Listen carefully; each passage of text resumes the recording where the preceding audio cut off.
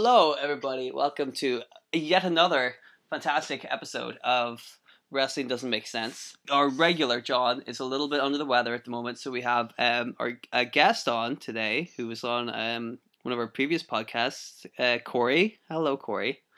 Hey, How are you? ah, not too bad. Excellent. Did you watch WrestleMania? All eight hours of it. I think it was like seven and a half. Yeah, it was a long time. Did you have a good time watching all seven hours of WrestleMania? From what I can remember, I thought it was okay. Right. Now this is what I wanted to talk about basically. Is that I thought the show was okay. You know, I agree with, with, with that. I thought it was it was good but not great. You know, it was solid but not spectacular. If you know what I mean. Like Yeah. I mean, if a show is going to be seven hours long, you kind of want you you want it to be really good to justify the length. Otherwise, you know, you're just watching seven hours of of nonsense. And I thought that some of the matches were good, but nothing great. Like for example, before WrestleMania this year, I went back and was watching a couple of other, you know, uh, I think from 2004 WrestleMania, I watched, um, you know, Eddie Guerrero versus Kurt Angle. It's a classic match. You know what I mean? And um, a few weeks before that, I had watched um, Shawn Michaels versus Razor Ramon in a ladder match. You know, you, there there are matches at WrestleManias that you would go back and watch because they were classics. And I, after watching this year's WrestleMania, didn't think that any of those matches would warrant a second viewing, if you know what I mean. Yeah. You know, n- none of them were like five star classics or anything like that.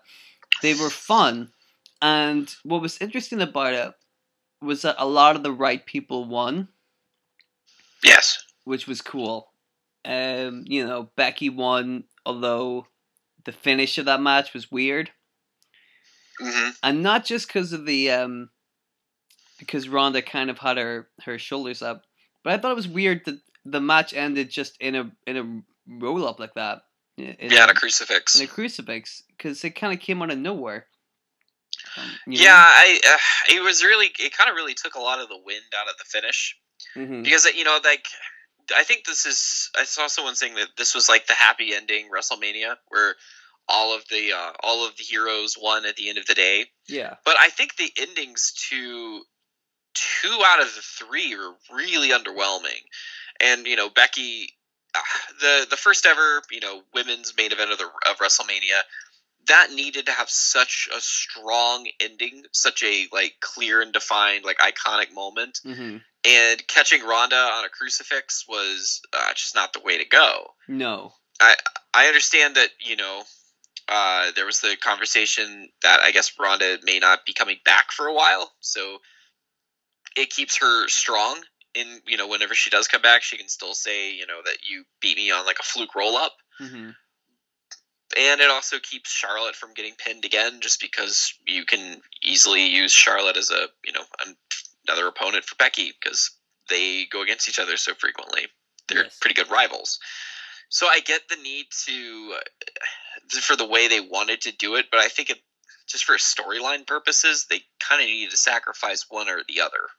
right. Like some there there needed to be a more kind of uh, definitive finish for um you know like it, it's all well and good to have Becky Lynch holding up both belts at the end of the night, but there was nothing in it like you know it just did kind of seem like a fluke pin, and that seems like a very strange way to to end a storyline that has been going for s- six months. SummerSlam, yes, Yeah. SummerSlam. You know, um, yeah, longer than six months. It's it's a very strange way to kind of cap it off, um, with without that kind of definitive finish.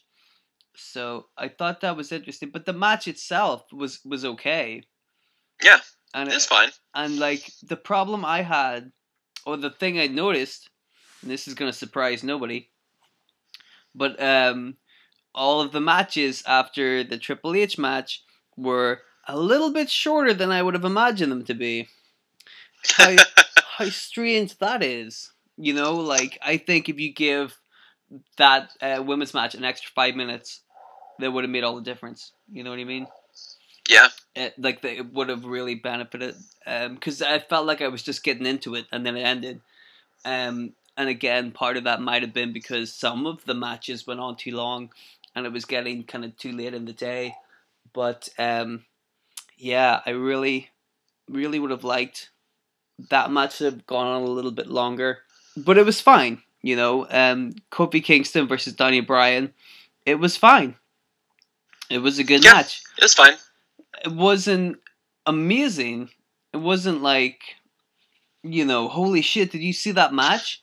But it was fine. It did its job and it was okay, you know? Um, Yeah. The Seth Rollins match, I mean, that wasn't anything special at all.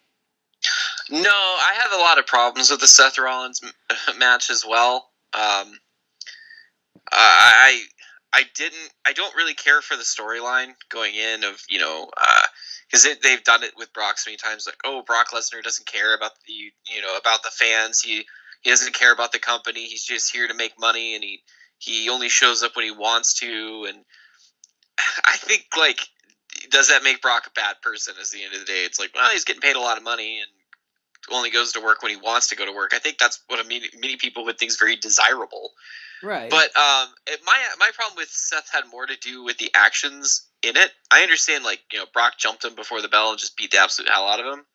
But at the end of the day, our hero, rather than you know uh, summoning up his his fighting spirit and having a huge heart and you know n- never say die attitude, he just kicked Brock Lesnar in the dick. Kicks him in the dick, yeah.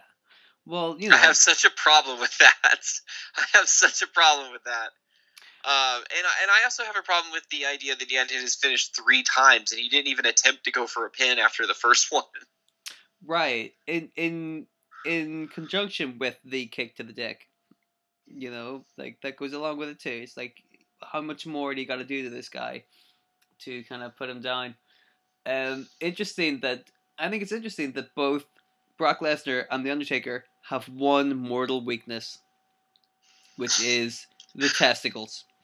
Yeah, You know, kick them, kick them there, and they ain't getting up again. And I'm like, well, it's good to see that they both are human. yeah. You know, that's nice. I think there was there was like a there was like a, a promo leading up into WrestleMania that it was like Seth versus Heyman, with uh, Seth pointing out saying like, oh yeah, you know Brock's always he you know who gave Brock his hardest fights were Finn Balor and AJ Styles and Daniel Bryan. He has a hard time against guys like me. And uh, Paul Heyman just probably like, well, yeah, he beat them though. That's a good point. That's a good point. But yeah, no, uh, the the Seth Rollins Brock thing, I did like how they they just basically had Heyman like rush down the ring. It's like, listen, if we're not going to be in the main event, we're just going to get our shit done and get out of here. Yeah, that was nice. I thought that was I thought that was clever. Yeah, but again, like the match wasn't anything spectacular, and it probably it could have been. I think could have Sure. been.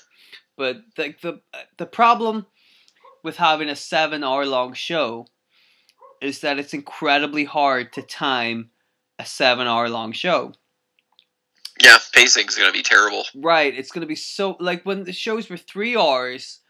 Sometimes stuff would run long, and there would only be you know seven or eight matches on the card, and even then, you know, matches would have time to breathe and and develop, and they would still kind of run on long, which meant that other matches would have to get short. So if you're trying to organize a seven-hour long show, like there's there's there's a lot more that goes into that, and it's going to be a lot harder to to navigate through.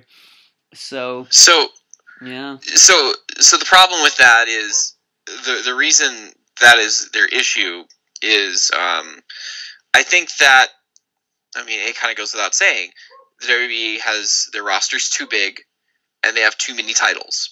yeah, I mean that's that's what it comes down to. And they have this desire to try to feature as many people on the show as possible, which is a good gesture. But you know, how many of those matches, those tag title mat or those you know title matches were multi-man? You know, the women's title, the women's tag titles have only existed now for a few months, but they've only been defended once in a proper tag team match. yeah, they were like in the elimination chamber to crown the winners, which still makes no sense to me why you would crown tag team champions in a match that tagging is not required. And then again at the WrestleMania with the Fatal Four Way. Yeah, like I thought with the women's title match, a tag title match, I thought what they were going to do was, um, it, it seemed like they were teasing, you know, Beth Phoenix and Natalya, um, for WrestleMania, and I assumed that what they were really going to do was have Beth Phoenix and Natalya versus, um, Nia Jax and Tamina as like a way to kind of um, distract Nia Jax and Tamina from you know the actual tag team championships, if you know what I mean. Yeah. So that um, they could challenge for the belts next month or the month after that. While because because it seemed like they were be, going to be built up as the, the legitimate forces in that uh, tag team division, and so the idea would be to have Sasha and Bayley kind of get along fine with kind of um, you know their reign would kind of avoid Nia and Tamina for a little bit until eventually they did collide and the inevitable would happen, which would be them losing the belts. So I figured that's what was going to happen that then, and then the Iconics would fight Sasha and Bayley at WrestleMania. That's why I thought everything was going, and then they thought, no, fuck it, we'll just stick it, stick, you know, instead of having two women's tag team matches on the card, that's ridiculous. We'll just make one.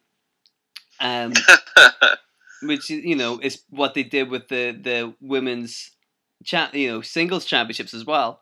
It's like fuck having two women's matches on the card. We'll squish it down into one, um, which I didn't agree with. You know. Yeah. So if you if you want to take it like a like a structure, I mean, uh, do you want to kind of just touch on on every match in the order that they occurred in? Um. Well, I don't fuck. I don't remember the the order, so I'm Sure. just kind of riffing. Like I keep Sure. because because the friggin' show was seven hours long. Yeah. I um ended up I will say-. I will them. say the one match that I thought had a brilliant story that had next to no build was the revival versus uh, Kurt Hawkins and Zack Ryder. the the story The story in the match was brilliant. Uh, Kurt Hawkins has lost 269 matches in a row, hasn't won any. Uh, he spends the first part of the match getting absolutely just the crap kicked out of him by the revival. He tags out to Zack Ryder. Zack does well enough, but then eventually he starts getting beaten up, and it comes down to Kurt has to be the one to win it for his team, but he's not won a match in 269 different matches. Yeah. I thought that was it was such a simple story, but it was very good, and everybody there played their roles magnificently.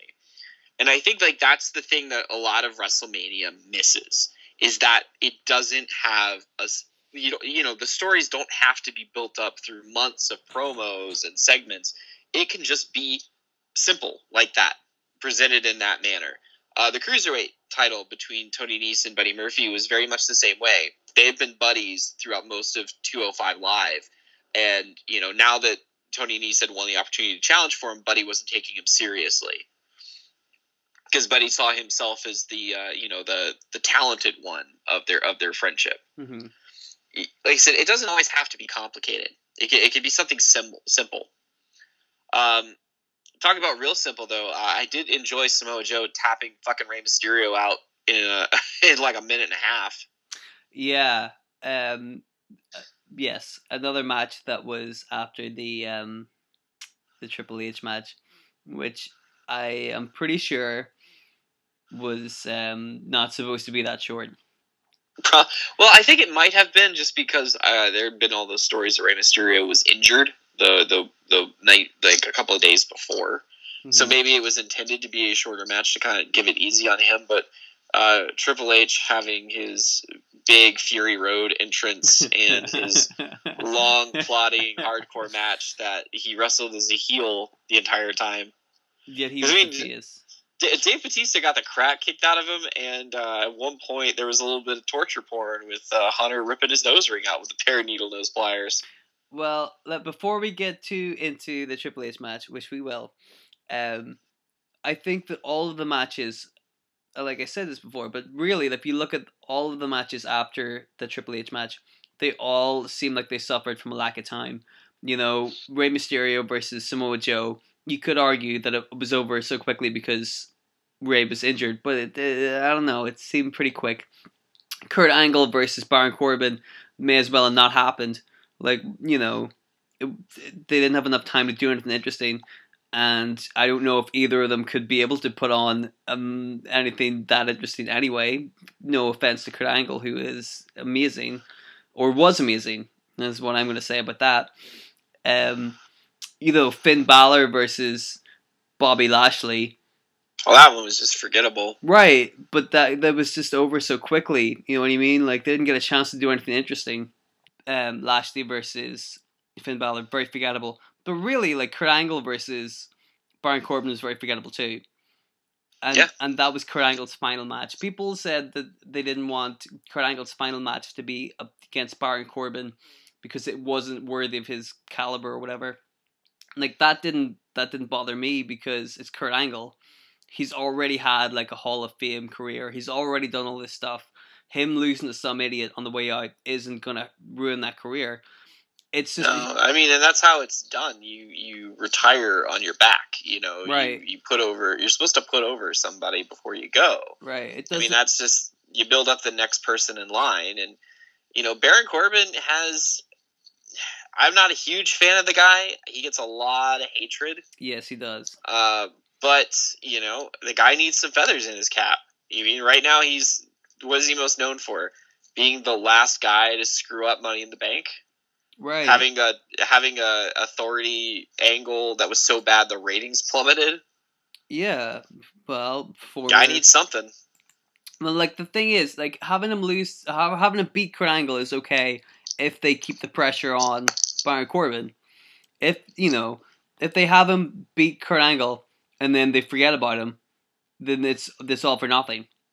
You know what I mean? Well, I mean that's a that's a very real possibility. Uh, the WWE brings people up to forget about him. They made a huge deal about bringing up those six NXT signees, and none of them have done anything. right. That was a real shame. Um, I think Lacey. I think Lacey is the only one to have done something, and I think Lars Sullivan just came back in a big way. Yeah, but like here's the thing: Larry Sullivan was away because you know he had like that anxiety problem, which I Mhm. feel for. That you know, so he's only just coming back now, and you know he's made a big impact already, right? Yeah, But he was supposed to debut in February with those other guys, right? yeah. So you look God, was it February? yeah. It seems like it was so much longer ago. So, so you look at the time between now and then, you know, Lars Sullivan hasn't been there for any of that and has still made more of an impact than EC3 or Heavy Machinery, who have been here and just haven't been used right. well, know? so the, what happened with that is, um, I don't, I can't tell you what happened with EC3. That one's kind of an anomaly to me. It doesn't make any sense. There's rumors that he's, you know, got in trouble backstage, but those are rumors, and I don't really care about those. Heavy Machinery was doomed from the start for the sheer fact that they were a tag team. The WWE not a fan of tag team wrestling. Mhm. even now with you know uh i mean for example like the usos basically live with those smackdown belts because i don't think you know while they are talented i don't think anyone really cares you know i think they just lost them to the hardy boys Yeah. what, this week yeah. and then the hardy boys got the shit kicked out of them by lars sullivan so you know proof once again they don't care about tag team wrestling so the Right. worst thing that you can do is come up from nxt as part of a tag team Yeah. Well, what's because they because they always go back to the well the usos the bar the hardys the new day right? they've had tons of tag teams come in but those are the only four they ever use What's dumb about that is that they brought up heavy machinery from NXT without really giving them a chance to do something. Same as Sanity, they brought him up, but they didn't do him with him. And I'm like, well, why didn't you leave him where they were, where they could have done something when they had well the so i'm a huge sanity fan because i'm a huge fan of eric young yes, and uh, I uh, I'm real bummed out about that because that group was a big deal in NXT. They were part of the first War Games. They always had an angle going on, and for them to come up and just do nothing. I mean, That is yeah, such a bummer. And the literally fact that they they for no real reason they broke Nikki Cross away from them. Well, wasn't it a good thing they did that? Because look what Nikki Cross is doing now. you Nothing. know? Right. The same as Sanity, so they may as well have kept them together. Yeah, at least let them be nothing. The four of them together because they you know they do seem that they have a, a great amount of chemistry with one another. Right. I mean that. But yeah. That. Yeah, I mean, and that's the one that really surprised me. I think of all the people they they called up in that sixth batch, I thought Nikki was the one that was going to stand out the most.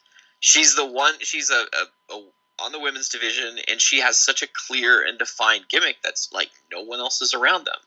But she's not conventionally attractive, at least not in the gimmick they've given her. So she's not going to get a push. Even like even Becky the Rebel comes out with you know super done up extension hair and you know makeup that is I don't know. I the way they do the women's makeup is uh, kind of cartoonish at times. Okay. Ronda Rousey's got a black swan thing going on nine times out of ten. I don't know what the hell. I don't know who she pissed off in that makeup chair, but they they do her wrong a lot. Okay. I mean, I'm not really gonna comment on the makeup of the women too much because I, I'll be honest with you, I don't know a whole lot about makeup. That's that could that can be your area of expertise. I have I'm friends with a lot of women and drag queens, so I, I, I have paid attention to makeup a few times. okay. Uh, fair enough. Um, but yeah, I think like it's just the problem is they don't, they have they have such a big roster. Like the Yes. roster is huge and it's stacked. The the amount of talent on that roster is unbelievable. They have so so many good guys and Jinder Mahal. They have have he made it to like the final five of that fucking battle royal. right. Nobody gives a shit about that either. So No. Well, and what got me is that it was, and this is such a weird thing to notice, but I did. It was very raw heavy battle royal. I didn't see a lot of SmackDown guys in that battle royal. That's a um, weird point to make, but it was the truth. Well, I don't know how much attention I was paying to that battle royal. So Well, I mean, with I the final three year, when it was all just an angle to put Braun Strowman with Saturday Night Live people. yeah, you know what a good way to build up your monster on your on your roster is to have him manhandle two guys who aren't wrestlers. You Yeah. know? Really Well, I think the one that really upset me was when they brought in a therapist. It's like, hey, you know, maybe anger isn't the best way. Maybe you should like talk things through. And then Braun just beat up the therapist. I was like, oh, that's not a great message to send to people. Because there's a lot of bad messages that got sent out at WrestleMania. Like, if you can't beat him, kick him in the penis. Mhm. And fuck therapy, beat up your problems.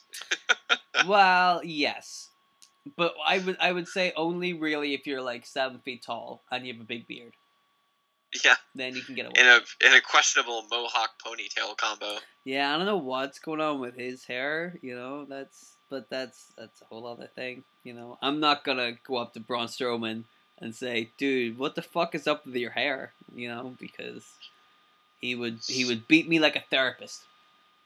He'd do. I I could do it like that. I do like that. So I guess one. I want to bring up two people because I know you have very strong emotions about them. Oh uh, dear. Dylan, Dylan, Dylan, what did you think of uh, Shane McMahon versus The Miz? I'm gonna tell you this, and um, this is not gonna surprise you, but I did not watch that match.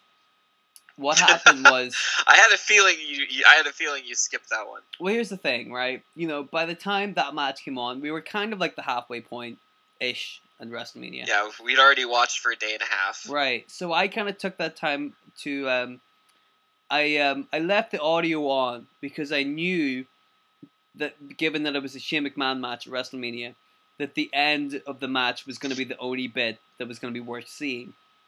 Yeah, Like a hundred percent. You know, they could do all the other guff that they want to do, but I know that it's going to end with Shane McMahon jumping off a thing. So I, all I needed to do was pay attention to the end. So I would leave the audio on. I kind of browse the internet to kind of clear my head, get myself back into the mood for watching another six and a half hours of wrestling. You know, um, so I, I I didn't pay attention to that match, which will surprise everybody who is listening to this podcast and has realized my opinions on the Miz.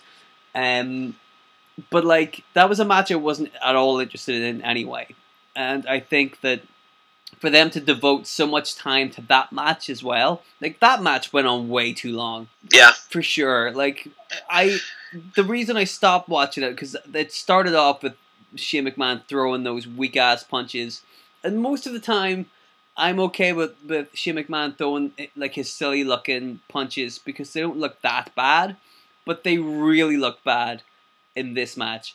And so Yeah. I was just like, no, this will do. I don't have to watch this. I'll be okay. Um, and so anybody listening can try and change my mind.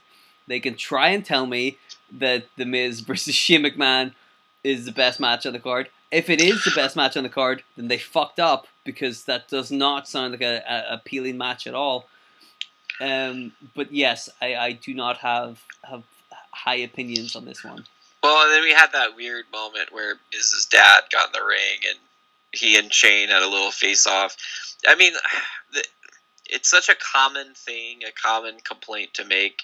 But WrestleMania truly is a celebration of nepotism in that Shane McMahon had a big long match and then Triple H had a big long match. Yeah, and yeah, and the finish to it, I, I don't. I'm sure you saw the finish because you were commenting upon it, but I both liked it and disliked it. I Mhm. liked it because I thought it was you know clever. You know, Miz hits this ridiculous spot, but just the way he lands and he sacrificed himself to make it. You know, Shane McMahon on a technicality got the win just because he was laid on top of him. hmm But it also made the Miz look like a fucking idiot because there were so many other ways he could have thrown Shane McMahon off a scaffold. Vertical suplex, probably not gonna be the one I think of first. what a bizarre choice.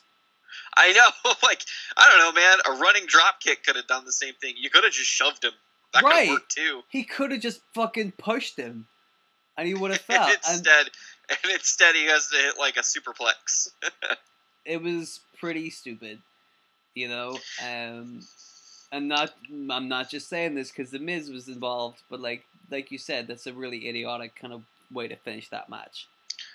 So the second person I want to ask you about is because I know you have very strong feelings about them as well as I feel most people uh, do. Uh, what do you think about Asuka in the battle royal? Oh, okay. Um, yes, it's no secret that I love Asuka as much as I hate the Miz. Not, I was not so happy to see Asuka um, not win the battle royale. I mean, it wasn't too bad because um, Asuka, you know, winning the the battle, female battle royale at WrestleMania isn't a big deal anyway. Yeah, Like, yeah. That's the thing is those battle royals, nothing ever comes of them. Right, like her not winning isn't too bad because it's a battle royal.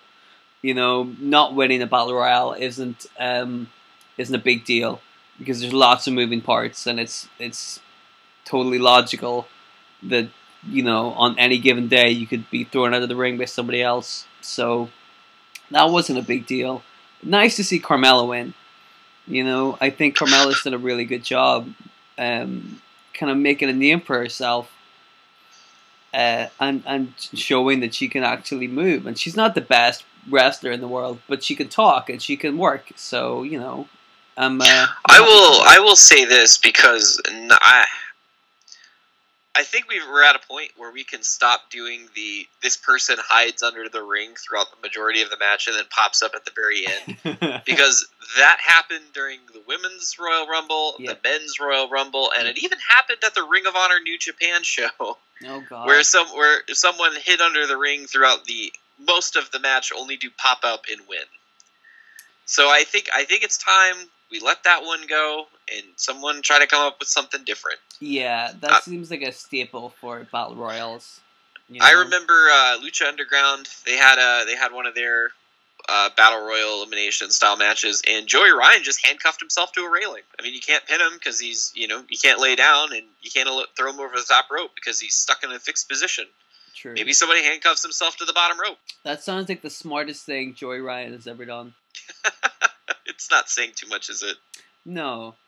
Well, actually, no, that's nonsense because I think uh, at some engagement recently he was charging people thirty dollars to grab his dick. So I mean, Right. I was gonna ask I mean you about that's that. that's easy money. That's almost like three people do it. That's a hundred bucks that you didn't previously have. That's fucking brilliant. That is sleazy money, my friend. That is, I believe, technically prostitution.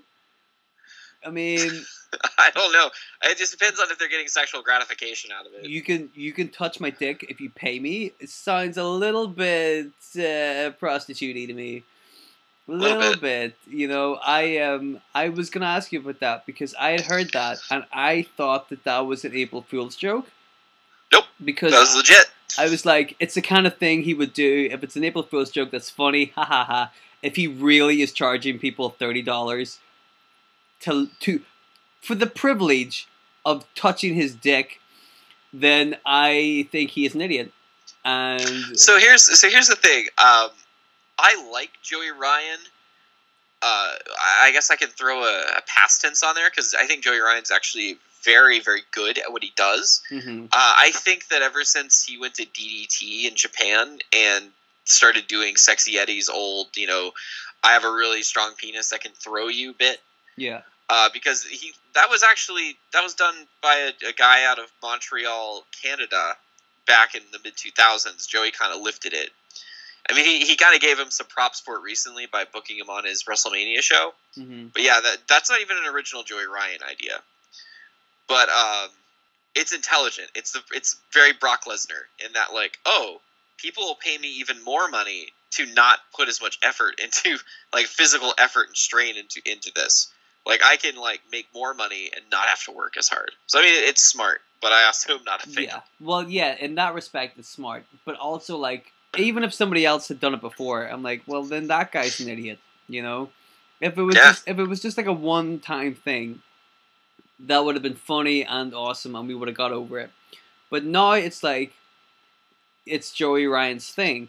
It's like he's Yeah. got he's got to do the dickplex at every match he's in, and I'm like, I don't want to watch that because it doesn't make any sense, and it's just not appealing.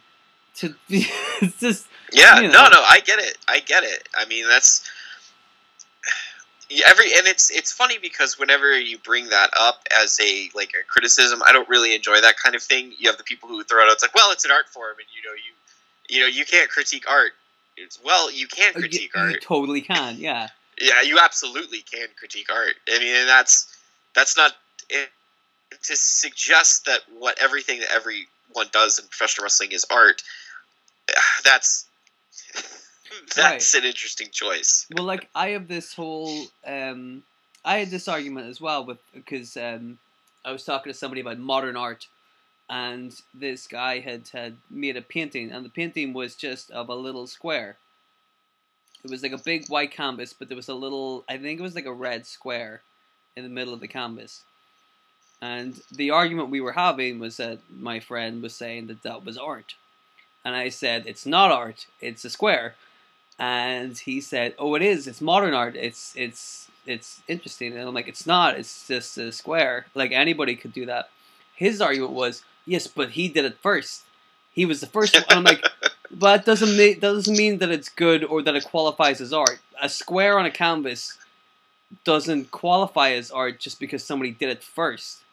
You know what I mean? Like, So so here's the so here's the thing. I would I would agree and disagree with him.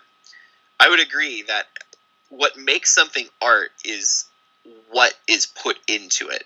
What is if he's able to say like come across a message or get across a point or an idea in that little square, I would say that's art. But for to suggest that it's art just because somebody did it first is fucking absurd. Because that's just insane. like right? did, did Isaac Newton do art when he, you know, when he uh, came up with the, you know, laws of physics? Is No, that but- art? Because he was but the first one to to come up with that. the argument was yeah the argument was just, just just because nobody else thought about putting a little square on a big canvas and calling it art and i'm like yeah but that's because everybody else has sense. Everybody else isn't a fucking idiot you know? And i think no offense to joey ryan because like he's good at his gimmick if you know what i mean. Like like Yeah. I, I dig that and he seems like a smart guy. But like there, there's a good reason why other people aren't doing the dickplex. It's because it's a fucking stupid thing, you know. Yeah, I mean, and like you said, we I mean, we kind of got off the WrestleMania Oh, on this, but but yeah, no, I that's the thing is I have very complicated feelings about it because um, I I do know that he's he when he actually does wrestle, it's really good. Like he's very seamless. He's he's been doing this for a very long time. hmm But the um, I mean the gimmick's the gimmick, and it, it, people pay him a stupid a lot of money.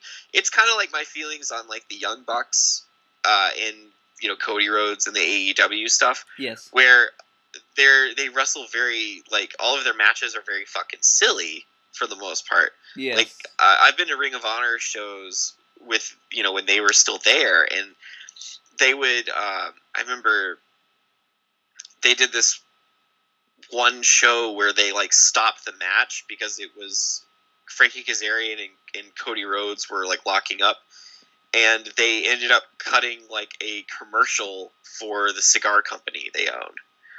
And it's just like, oh, if we reference stuff from our YouTube series, you know, people eat that up. And it, I, I'm not a fan of that. You know, I'm not. A, I, I don't really know where I'm going with this, to be frank. But I guess that's what I'm getting at is, yes, I, I see the point. I see why people pay the money for it, and uh, I, I'm just not crazy about it personally.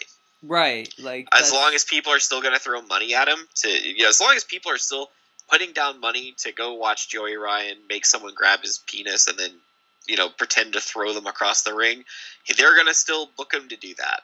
Right. That's a whole other thing, which fits in perfectly, really, with the, the kind of young bucks, like you're saying. They they have that same kind of philosophy, where they're like, wrestling isn't about you know, um, making it look like a competitive sport anymore, because we all know that it's not. It's more about having fun, and it's more about kind of, um, you know, doing fun, silly stuff that'll entertain the crowd. But I'm like, I, I kind of get that, but at the same time, if the fun, silly stuff you're doing isn't fun or silly and it's just there to kind of pop yourselves, because I feel like a lot of the stuff the Young Bucks do is to get a pop out of themselves or the boys, you know what I mean? And, um, or it, it doesn't seem like it's that entertaining. And I think a lot of smarks are, are, are eating it up. Um, and I don't think that's the kind of thing that has a lot of long term. No, no. Well, I mean, I, I guess that's my, uh, you know, I, I also think it's very, um, it's very pretentious Mhm. for for their little catchphrase to be, we're you know, ch- we're going to change the world. Eh, With you know doing jerk off you know YouTube bits and parodies, right. I guess that's that's being very big on yourself. But I will say that one of the more amusing things I've ever seen, and this is just me being spiteful, I suppose. Um, I'm a big fan of Lucha Libre. I Mhm. watch a, I, I do watch a lot of AAA and CMLL, and uh, Cody and the Young Bucks showed up at a AAA show, two crickets because nobody in Mexico gives a fuck about the Young Bucks. oh man, maybe I should go to Mexico. Yeah, I mean, because that's the thing, and it's really funny because like the big draw in AAA is this guy called Psycho Clown, whose gimmick is that he's a clown. Mm. and he got huge pops and cheers and i think he ended up having to come out with cody rhodes to kind of like hey everybody you may not know who this guy is but he's cool with psycho clowns that means he's cool with you Nice. By the way, at some point, this is something that everybody gets to, to look forward to, but I'm sure that whenever All Elite Wrestling becomes more of a thing, you and me will be doing a podcast about this.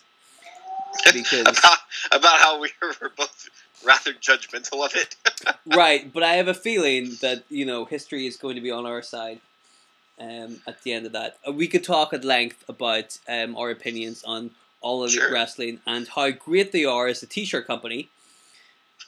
Great t-shirt company. Have you seen all their t-shirts? They're really good They fly off the shelves because Oh, their fans will buy fucking anything Right, but it's bizarre to me that they can sell so much and yet have so little. nothing yeah Yes. Well, I mean, that's the thing that got me is that they're they announced the company and then like, oh, their T-shirts are the best selling T-shirts on this whole website. Like, holy hell! Like that was this could blow up spectacularly, you know. And I, you're you're uh, do you watch a lot of like Premier League?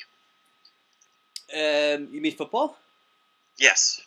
or soccer? I suppose is is the American. Well, that's why I wanted to call it Premier League. yeah, I, I don't. My brother watches a lot of it, but I, I wouldn't really watch too much of it. Well, so the guy who who is funding AEW is also a part of the family that owns uh, a Premier League team, a, a club. Uh, I can't remember what team it is, but their fan base absolutely fucking hates them. Uh, absolutely hates them, and I'm just and I, I I was on a message board and people were talking about it, and they're like, yeah, if they run, you know, this professional wrestling company the same way they're running this soccer, this uh, sorry, this football club, yes. uh, their the AEW fans probably won't be very thrilled for very long. okay, hang on. It's Tony Khan is the name of the guy, right? Yeah, Um, Fulham. Fulham, yeah, Fulham, Oh, okay. Uh, understandable. yeah, I get it. I yeah, get it. yeah, yeah. He he like he like what hired a like signed a bunch of guys that his uh like his staff said no no no no they're not they're a terrible fit for the team that's not what we need but he, he signed him anyway Mm-hmm. he like raised ticket prices even though the team's not doing well Well, like let let's put it this way, you know, like Fulham. Um, well, like I said, I'm not a big kind of football fan or, or soccer, if you will. Um, Mhm. but like my, my brother is, so I, I know about kind of you know little little ins and outs and stuff like that. And um, Fulham are not one of the teams you would talk about whenever you're talking about real classic, you know, um, teams that have kind of made runs for the championship and and and are are good, if you know what I mean. They Yeah. haven't really like done a whole lot um, to challenge the mainstays, which would be you know your Chelsea's, your foot, your uh, Manchester United, your Liverpool, you know Arsenal, you know the the the big names. if you- if you see where I'm going with this, yes um, basically what I'm saying is, uh, uh, yes, if if he runs his wrestling company like he runs his football club, we are we are going to be proven correct. well and we'll also and I mean, i'll throw out an american football reference for you as well he also owns the jacksonville jaguars uh, which is why aew have all their little things in jacksonville hmm uh, the jacksonville jaguars also historically not great Wow. So he's managed to have a you know a mediocre to failing football club in two different sports.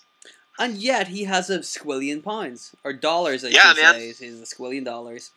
Um, isn't that just weird? My my point is that at some point we will be doing a lot more talk about a all elite wrestling and you know Joey Ryan and all that stuff. So Yeah. if if you want, we can go back to talking about Triple H because uh, you know I'm sure his ego would, would prefer that. Well, so if we can uh, if we can kind of talk about uh, yeah, let's go with uh, the women's tag match. We kind of talked about it with Beth Phoenix and uh, Natalya, but Okay. you know the the Iconics are the team that you know sneaks out a win, and they're the second you know women's tag tag champions. Do you have any thoughts on the Iconics? Yes, I have lots of thoughts on the Iconics. Uh, I I I saw a lot of people talk about how this WrestleMania was good because um you know the right people won, like the fan favorites won.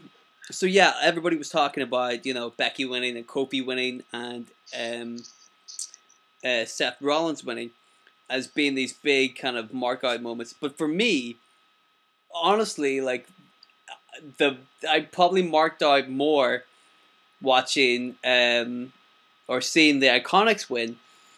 I really did. I was like, holy shit, they fucking did it. Because Yeah. I love the Iconics. I, I do too. I I think they were they were very underutilized in NXT, yes. and uh, and I've noticed that's like the common theme in uh, in the WWE is that the underutilized people from NXT tend to do better than the people who were big deals there. Because Elias, as the Drifter, Elias didn't do shit in NXT for the most part. Right. But he's like, you know, gets his own special in ring segments and interacts with John Cena and The Undertaker on Raw. I mean, Well, yeah. do you notice that it seems to? It, I think it's it's certainly a theme that um, that the women from NXT have been doing that. For example, you know, we said Carmella. She came up. She did a really good job. But in NXT, she was just fucking the hairdresser for Enzo and Cass. Um, Alexa Bliss. Nobody thought she could wrestle. Turns out she fucking is incredible. Um, yeah, she was just managing Murphy and uh, Wesley Blake. yeah, but yeah, exactly. On, on NXT, she wasn't doing a whole lot, you know. Um, and even Lacey Evans didn't really do a whole lot on NXT. Now they, they brought her up because they want to give her some kind of push. We'll see how that goes. You know. Yeah. But it seems like they're kind of taking a lot of chances with people from NXT on the female side that they hadn't really you know given a chance to before. So I was very happy to see the Iconics win because um, I think that they're they're one of the few proper teams in in the, the women's tag team division. Um, they they they they're so good at being heels, like they're so good. Um, they're they're, they're Oh yeah, yeah. They're they're they have a lot of really weird energy. Uh, I think. yeah Uh, so my my uh, fiance, uh, she's a big wrestling fan. Uh, she watches a lot of Japanese stuff primarily, but she loves the Iconics because you know she stated that they're uh, they're very attractive, you know, uh, women, but traditionally you would see them just having a gimmick like, oh, you know, she's kind of like a, a mean girl bitch. Oh, she's you know Yeah. sexy or whatever. But like they're very silly. Yes You know, they're very over the top. Yes, I love the the exaggeratedness of, of both of them. They're very they're they're very annoying, but in a in a very like kind of sweet, endearing way. If if that makes any sense. But like their their annoyingness and their shrillness like kind of plays to their strength. Um and like yeah, I, you, you could have easily seen both of them work in a kind of um, snooty kind of gimmick where they're you know heels, but they're better than everybody else. Whereas the Iconics are just these these two. They're a little cowardly, you know. They're Yes. a little annoying. They're a little sneaky, and and and they pull it off really well, really well. So I was super super happy to see the Iconics win, Um, because I didn't think it was going to happen. Like I really thought that um, um, Sasha and Bayley would retain, but I I was yeah. I mean, I was really happy that they didn't. Um, I'm I'm not a fan of Sasha and Bayley um, at all, really, mhm, and, and I think that a lot of it has to do with. I think a lot of the other tag teams in the women's tag divisions have better chemistry than those two, but they were the ones who were pushed, you know, real hard because they were the two bigger names. mhm. But you know, look at the Riot Squad, look at Mandy Rose and Sonya Deville, look at the Iconics. They were kind of an afterthought when the belts are first introduced, and and you know the other two, the other two aside from the Iconics still are, but they have better chemistry than you know Nia and Tamina, and they have better chemistry than Sasha and Bayley, and better chemistry than Beth Phoenix and you know Natalya. Well, Beth Phoenix and Natalya get on pretty well, I think. Well, yeah, I mean they they are, but I mean there was also you know Beth Phoenix had been in a ring in what ten years, Yeah. maybe maybe as you know probably less but but yeah like like I said those other teams I think have better chemistry I'm very surprised to not see the Riot Squad kind of be in there, be involved more because they are a good team and they're they're a bunch of kids that can really, you know, they'll go far. I think all three of those. oh yeah. I I saw Ruby Riot when she was still in the indie in Independence uh, I saw her live in Cleveland before and she's really good and it's just a, it's always such a shame because you know not everybody can be the featured player and I think that there are some some members of the WWE roster that I think are also kind of learning this if their social media accounts are any indication. yeah. They're coming to that realization that maybe they aren't going to be the, the top featured person. Yes. But um, with Ruby, I do think that's kind of a shame because I think Ruby's really good. And a lot of those matches they put her in on one on one occasions, like I was at Fastlane last year where Mhm. she faced off with Charlotte for the SmackDown Women's title. Mhm. And that was a great match. Yeah. Well, here's the thing, man. Like, I think, I think there's some people that you just kind of, um, if they just put the time in, eventually it'll all work out. You know, like they might not be the the very tip top of the of the company, but like for example, Natalya. I've been a big fan of Natalya's for a long time, and I was very happy to finally, you know, whenever she finally kind of got to make a name for herself, because she was in the company for a while, and for a long time she wasn't doing anything, or she would just be managing, you know, Cesaro and Tyson Kidd or something. You know, she Yeah. she wasn't really doing a whole lot. So uh, whenever she does get a chance to kind of go out there and shine, and uh, you know, I I love it, and like she's a you know former Divas champion, a former SmackDown uh, Women's champion. You know, she was at WrestleMania competing for SmackDown or for the women's tag team championships. Like she's she's doing well for herself. Even though a lot of people would look at a career like that and think that it's not, you know, picture perfect because she's not on top all the time. I think that she has been rewarded for her, uh, you know, her, her abilities, and I think that's the kind of thing that I could easily uh, see for, for somebody like like Ruby Riot. I think if she kind of sticks with it, because she's a good hand in the ring, she's very good, much like Natalya, yeah. and she's there to kind of make other people look good, which is which she does, and she's very good at that too. So I think it's only yeah. a matter of time before, um, before she gets like the kind of payoff. You know, like she she definitely will. The problem is like right now she has to compete with Becky and Charlotte and and you know Ronda Rousey and, and all of these other guys. But I think if she sure. just, if she just plays the game, she waits waits a little bit, she's gonna she's gonna get you know the good stuff. So so I'm gonna throw a sports analogy at you that you may not get because I just don't know how much about basketball you may know. I know everything but, about basketball. All right, man. Glad to hear it because you're you're gonna pick up on this easily. Um, so um, during the 90s, there were all these really amazing basketball players. Uh, you know, there was um, John Stockton out of Utah.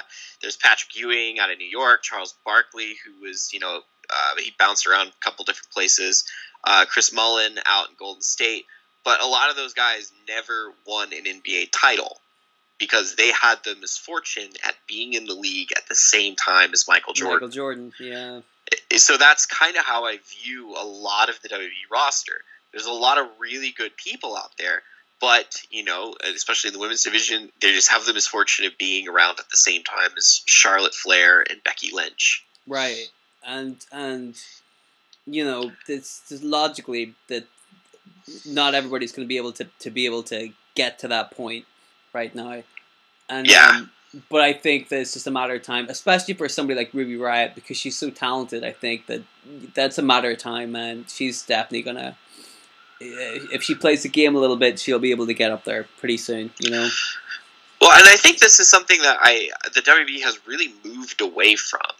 Um, they're they don't build up challengers per month anymore.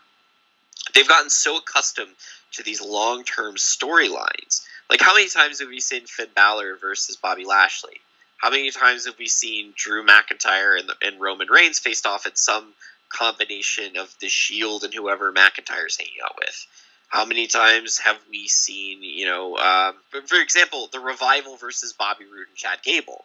Yes. There are other teams. Yes. Exactly. There are other competitors out there, but we don't see those. We don't, you know, uh, whereas there would usually be a new challenger every month you know, somebody, you know, let's say D'Lo Brown versus, you know, X Pac. Mm-hmm. They have their match, and whoever wins, they move on to feud with Val Venis next. There's not a lot of that. And I think that's what hurts when they have a roster so big, but they keep using the same people repetitively. Like, right. you would think that the Raw roster is only like 20 people based off of any given episode of Raw. Right. Exactly. Like if you watch an episode of Raw, you can you can you can pick out your regular guys, the guys who always get TV time. I'm like, well, if you've got three hours to spare, how come you can't give a little bit more TV time to some of these other guys who really could benefit from it? You know? Yeah, I know that they're putting. The, I I heard they're putting these matches out on network soon, but they did this event during WrestleMania weekend called Worlds Collide, mm-hmm. where they just had a lot of their their underutilized talent from all the different brands. So NXT UK, 205, uh, Raw, SmackDown, and NXT just facing off each other in matches. And from what I understand, they were really good. Like uh, they had Killian Dain and Alexander Wolfe versus Bobby Fish and Kyle O'Reilly. Uh, they had Luke Harper versus Dominic Dijakovic. So like that, I think they could benefit from doing something like that. I mean, once upon a time, they had main event superstars for things like that. Sunday Night Heat and Velocity, Shotgun Saturday Night. Yeah. You know, all of those little small shows where you could feature the lower mid card guys. They mm-hmm. don't really do that anymore. Like they have main event, but you know, main event is what two matches and then a Raw recap. I mean, that's what those shows usually were. They usually were a recap, mm-hmm. but they could do a lot more with some of their talent. I mean, it's just weird, but it feels like the company like just it, they pay people just so they don't go somewhere else. Right. I mean, this was my criticism of of the booking of WrestleMania for this year was that um they had this they they they cr- specifically created the two battle royals, you know, to to get more people onto the show so that people would get their WrestleMania payday. And despite specifically creating matches to get as many people on the show as possible, they still ended up having 16 fucking matches at the show. Like, how many more people have to go into this show? You know, it doesn't need to be seven hours long. You know, a lot of this stuff doesn't need to happen. This coming year, uh, in 2020, uh, New Japan is going to be doing something a little different. So New Japan's WrestleMania is called Wrestle Kingdom, hmm and it takes place in January. So it's kind of the same deal. The one night a week, and then uh, their Raw after SmackDown is a show that follows this. That's the next night called New Year's Dash, and New Year's Dash is usually where like the big new character or the big new storyline comes together. Um, next year, they're doing away with New Year's Dash by the looks of it, and just having Wrestle Kingdom as two nights. And I think maybe that's something WrestleMania can do. Instead of having WrestleMania as one night, maybe have two nights. Yeah. I remember uh, Lucha Underground, their big show Ultima Lucha. They broke it up into two episodes, and that way you get you can really say this is WrestleMania weekend because it's a show on Saturday and a show on Sunday. And I think it, you know, it could help spread it out. It could help make the show shorter. Right. I think that if you're gonna make your show like seven hours long, you really need to split it up because then you can have, you know, SmackDown Championship headline in one night, and the Raw Smack or Raw Heavyweight Championship defended as the main event the next night, and you know, it, it would work a lot better. It would be a lot smoother because it's tough to sit through a seven-hour show. Oh, it was It's brutal. really tough, you know, and that was kind of what we, me and Jon talked about in the last episode was that it doesn't matter. It didn't really matter like how good the women's match was going to be because it was the main event. Like people were going to be fatigued by the time they got to that match anyway. Like it was that's just the way it was going to be. And that Yeah. was a bad thing because people have been sitting there for six and a half hours already just to get to that match, but they're going to be tired and, and they want to go home, and so it's it's going to negatively kind of impact that match. So it's it's kind of just like the law of diminishing returns, you know. Like it, if you could have, uh, for example, you know, you can have your favorite ice cream in front of you, but if that's all you could eat all day, you're gonna get real sick of it real shortly. So, uh, and that's kind of that was that was kind of WrestleMania for me. It was the law of diminishing returns.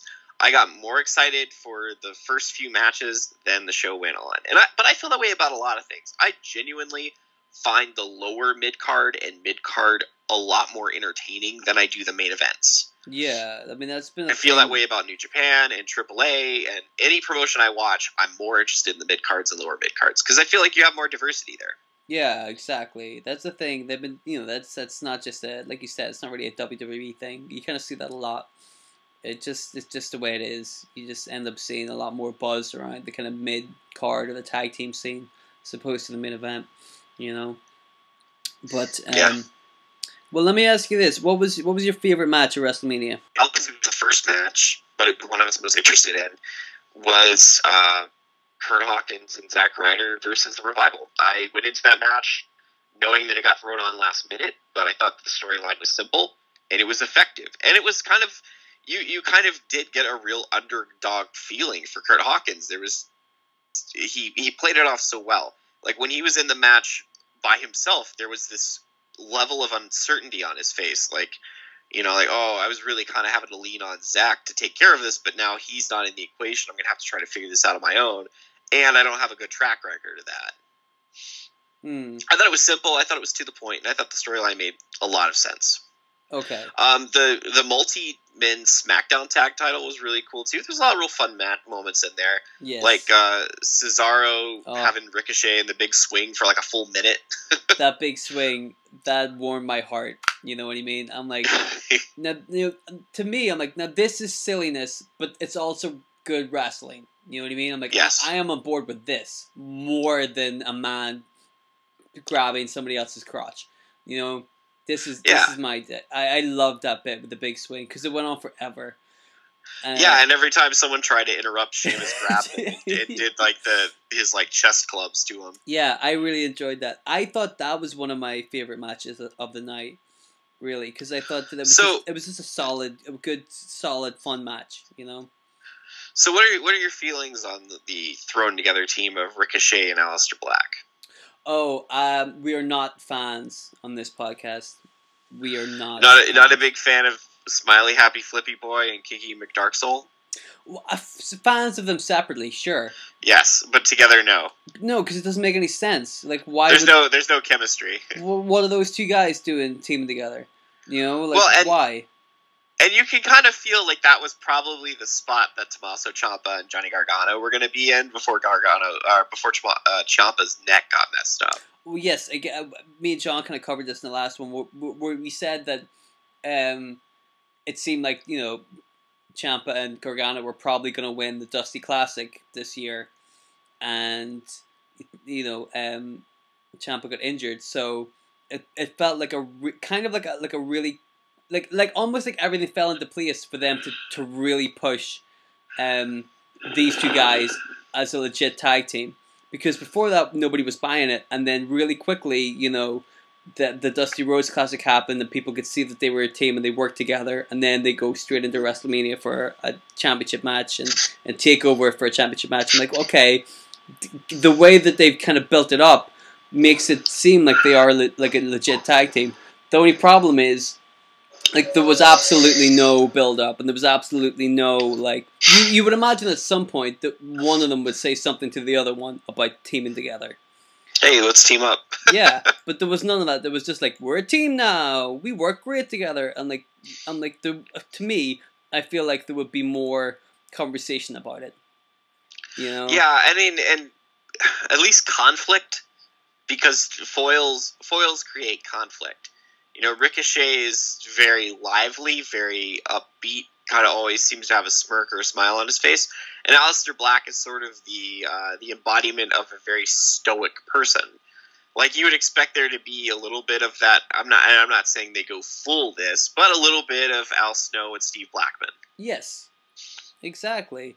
You you want you you would imagine there's going to be that kind of um, dichotomy between those two people, and that's you want to bring that out because you want to show that side of them and give them character. You know, wrestling doesn't make sense sometimes. You know. That's true. Wrestling does not make sense sometimes. Um. Yeah. Let's. Is Is there anything else you want to kind of cover when it comes to WrestleMania? I think. Um. I, I. I don't want to run the risk of having this podcast last seven hours like WrestleMania did. Um. uh, is there any matches that we didn't really cover that you want to cover real quick, or Uh, I mean, we kind of touched base on pretty much all of them. We didn't really say anything about Randy Orton versus uh, AJ Styles. Solid. I mean, that's pretty Right. much all I got to say about it. it was? Solid. It was just. It was a fine match. You know. The Yeah. Theme across the board. You know, decent, decent matches, but nothing spectacular. You know. Did you did you enjoy the return of uh, the Doctor of Thugonomics, John Cena? I gotta say, yes, I did. I same here. Loved it. The second I heard that music, I got really excited. and like it was it's the same old kind of bullshit but like for a one-off kind of appearance you know for a one one-time thing you're like oh th- that's fair enough this is kind of what wrestlemania is about you know a a Yeah. celebration of the WWF and its and its heritage and John Cena and his thug life you know Doctor Thugonomics gimmick was pretty big um so I'm like yeah that's it's a silly fun thing that that that you know has a place at WrestleMania I had no problem with that you know yeah, I liked it. I thought it was fun. yeah, I Um, did too. I'll tell you what I didn't think was fun, and we kind of covered this earlier. Actually, you know what? I didn't. I didn't hate it. I think uh, I've heard other people say they did hate it. Was um, the Triple H match? No, I have said that it was. It was. It's. It's a typical Triple H match in that it was overly long and very self indulgent.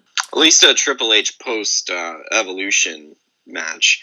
The Yes. Evolution matches was a lot of Triple H getting his ass whipped and then like him cheating to win. but like I I've noticed like a lot more like um, Triple H like you know kind of around the time that he was becoming a part timer all of his matches started to have the same formula, where you know they they're, they're overly long and self indulgent, but they also go in very hot. They start off very hot, so like the first five minutes of the of the match is gonna be very hot, and that means that for the next twenty minutes there's gonna be a lot of selling. And a lot of plotting. yes, like it's like they go in so hard at the beginning that you don't really get a chance to get into the match, and so at the point where you normally would get into a match, you're just watching guys lying on the floor, and you're like, "This is bad pacing." Triple H should know better. Um, and I've noticed him do that a lot with with matches um, as he's become more of a part timer. I didn't hate that match because No. because it was what it was. You know, it's just it's what I expected it to be. Um, but again, it was I will. I will say that we have a, a mutual friend that uh, was speaking about the match. He had very, very negative feelings towards it, yes. and uh, he what he stated he stated that Triple H wrestled as a heel throughout the whole match, and he's not totally wrong. no. I mean, the thing is, is that yeah, Batista he beat up a seventy year old man, and then like kind of acted like a coward and wouldn't face Triple H one on one whenever he called him out. So I I can almost get Triple H, you know, being a little a little rough around the edges with him. Yeah. Um, I did think that. I mean, of course, he was fake and whatnot, but you know, What? pull it. Yeah, I know. Pulling out pulling out Batista's no, nose ring with uh, a pair of needle nose pliers. hmm I thought it made for a very interesting visual, but it did it did come across as incredibly barbaric. Well, like that that that whole storyline didn't make any sense to begin with. Like the build up to that didn't make any sense. Batista says, "Give me what I want," and Triple H says, "No," and Batista says, "Yes," and then Triple H says, "Okay, fine." You know, like it's it's Oh, and then and then it was like, well, you got to put your career on the line. Like, why why are we negotiating? right. this? That was another thing. Triple H was like, "Yeah, okay, we'll fight," and then Batista said, "Uh, just one more thing, Mrs. Robinson. Why don't you um put your career on the line?" And then Triple H is like, "Yes, okay, fine." Like, why? Why does any of that make sense? And why Triple H's career, whenever you know he only wrestles two matches a year, and why not Batista's career as well? Even though that's essentially I what mean, he retired after the fact Yes. anyway. Right. So he did it anyway. So you may as well have put that on too, right? Well, and like, okay, so to case in point, it reminds me of uh, when when Shane McMahon first came back, and Vince McMahon said, "Well, Undertaker, you're going to wrestle my son at WrestleMania, and if you if you lose, you'll never compete at WrestleMania again." And like one of those hindsight things, like, yeah, maybe he should have lost because he's not been having a great time of it lately. Well, he beat John Cena in like five minutes, right? Yeah, yeah, he, he certainly did. He also looked like he was going to keel over and die at one point. Well, he's a dead man. He's supposed to. That's his. He's just. Yeah, you just- got me there, didn't you? just keeping gimmicks, you know. Um. So yeah, basically, overall, I I would give WrestleMania like a like a solid kind of C, a C plus, maybe. Um.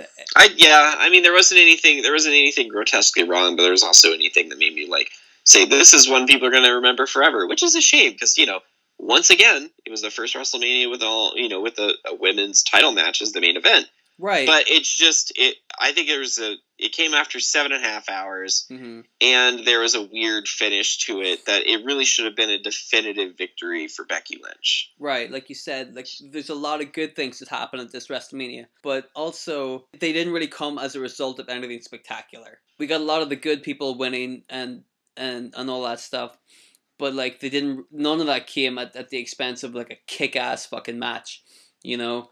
Um, that's kind of what you want from WrestleMania, especially if it's going to be seven hours long.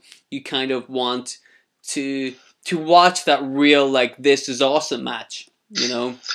Yeah, And- well, I, and- so I, I- think the closest contender to that, a lot of people would say, was Daniel Bryan versus Kofi Kingston. Yeah, I mean, I would probably say the matches I enjoyed the most were Daniel Bryan versus Kofi Kingston, um, the women's tag team match, and the SmackDown tag team match.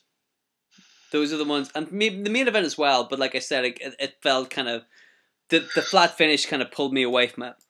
If you know what I mean. If I could find uh, kind of a topic that would kind of close this out, I got a real big sense that I think they're going to keep the brand split, but I think they're going to do away with a lot of those dual titles. I mean, because Becky won the women's Raw and women's SmackDown belts. I don't see her defending them separately. Okay, this I, I could kind of see them unifying that. And on Raw, they teased Kofi Kingston versus Seth Rollins with both belts on the line. I could see them merge those belts too. Okay, this is something that I definitely wanted to see it for a different podcast, but I think that unifying the women's championships is a very bad idea. They have so many women that they deserve to have two, two championships, one in each brand. Um, you know, they have so many women that they can't even use half of them right. So they need Well- as many opportunities as they can get. Uh, For them to say that we're, we're, you know, all about women's revolution and giving women a chance to shine, and then for them to take away an opportunity for the women to shine like that seems like uh, counterproductive and a bad idea. No, I would agree with that, but it's also like if the last few months of, of storylines have told us they seem completely incompetent at building two separate women's storylines. They Yes. put all of their eggs in the Ronda Becky Charlotte basket that by the time they got to two weeks before WrestleMania, they said, Oh damn, we didn't do anything with Asuka. And they were like, Fuck it, give her belt to Charlotte. Right, and again, that's that's totally on them. Like that's that's a mistake they've made, and, and it's a mistake that they need to capitalize on, on and, and change and fix because there are like a lot of really good women on SmackDown that deserve a shot like that. You can easily have Asuka be like the linchpin of that company or of that brand, and have all these other women step up and try and see how good they are, and and you know, then you can you can evaluate them and see how good you know. Like for example, um, Carmella and Naomi both have improved an awful lot. Um, they've done a really good job, and so you know they deserve the kind of shot at a championship, just like all the other guys do. But like, if they just make it one championship, you're just going to see Becky versus Charlotte a lot, and that's that's not gonna it's not gonna be good for business. Yeah. Anyway, Well, and that, and that kind of goes back to, you know, um, they need to start diversifying who they use. yeah, You know, because like I said, they, their roster is a lot bigger than just 20 people on one show. right. And I didn't like this Raw and SmackDown because they there was a lot of bleed over. You know, Drew McIntyre wrestled on both Raw and SmackDown. Yeah, I didn't like that either. That they kind of blurred the lines a lot. I guess I guess it makes sense because they're leading up to the superstar shakeup. My only my only hope is that they actually use that as an opportunity to build up some of these other teams or other competitors that they don't feature primarily right now. Well, good luck with that. Yeah, I know, right? Um, because you know wrestling doesn't make any sense. I brought it round. You see how I did that? It's very well done. Thank you. I'm getting good at this. Uh, is there anything else you want to say before we wrap this one up? Uh, no, not really. I'm good. Cool. Uh, me too. Basically, WrestleMania was okay. Here's hoping next year's WrestleMania will be better, and that Asuka actually gets a match on it. But we shall see. So yeah, thanks for listening, guys. Um, and we'll see you in the next one. Bye.